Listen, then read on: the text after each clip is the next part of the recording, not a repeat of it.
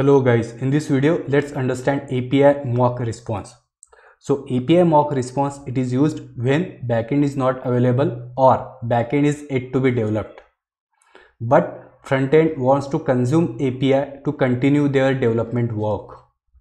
Now API mock response if it's been configured then it cancels the normal pipeline execution and it returns mocked response to the caller. We can apply API mock response either at global level or product level or API level or at operation level as well.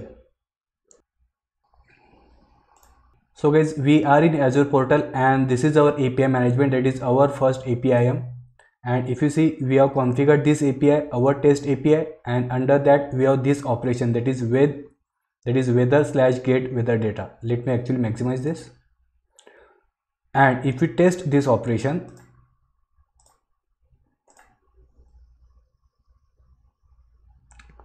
so let's go down and let's say send and we get the weather data. So as of now we are getting weather data because this backend api again weather slash get weather data. This backend api is been available.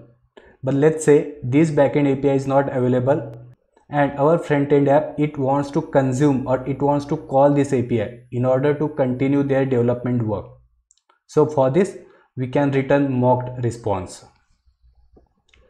And now let's see how to do it. So let's click on design. Let's click on our operation. Let's click on this front end. Let's go down guys can you see these responses? So let's click on it. And basically here we will add response. So let's say add response.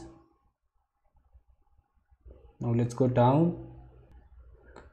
And now here let's select 200 ok and again on the right hand side let's go down. And here we will spec and here we will add the representation. So that means whatever mocked response we add under this representation this mock response will be returned and status will be returned as 200 OK. So here let's select this application JSON and here let's click on this sample and now as a mock response I want to return this simple straightforward JSON. See it has just one object and that one object has just two properties that is date and temperature okay. So let's say save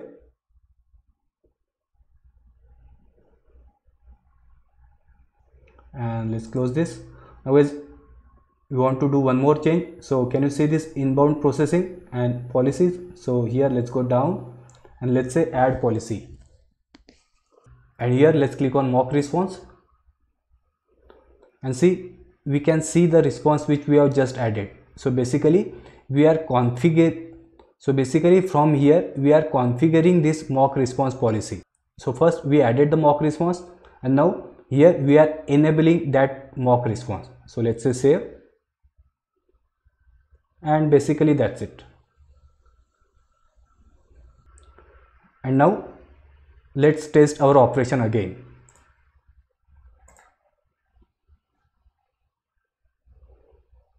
Guys first thing can you see this? It says mocking is enabled right? And now to test it let's say send.